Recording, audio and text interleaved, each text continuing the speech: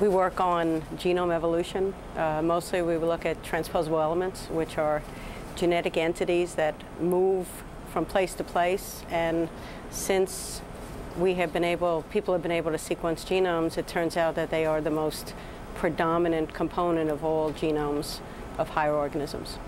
Our research is, is mostly basic. So we ask the question, how can uh, these transposable elements comprise, for example, 50% of the human genome?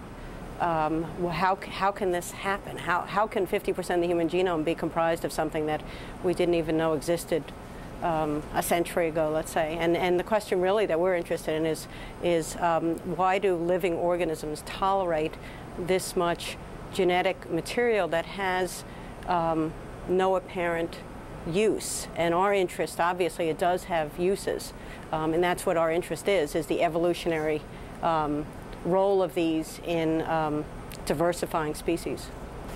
I cho chose UCR for a couple of reasons. Um, the, one, the two main reasons have to do with my two interests, which are research and teaching.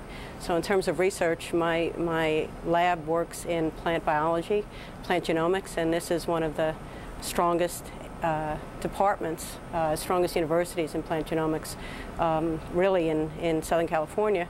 Um, and this new beautiful building that, um, that I'll be able to move my program into. First time I'll be in a new building in my career.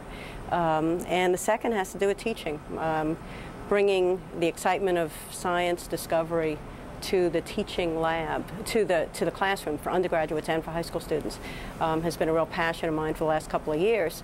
Um, and the university here is, is very much invested in the community. Um, and that interest has really, um, the two together really synergized to, uh, um, for me to be, have great interest in coming here.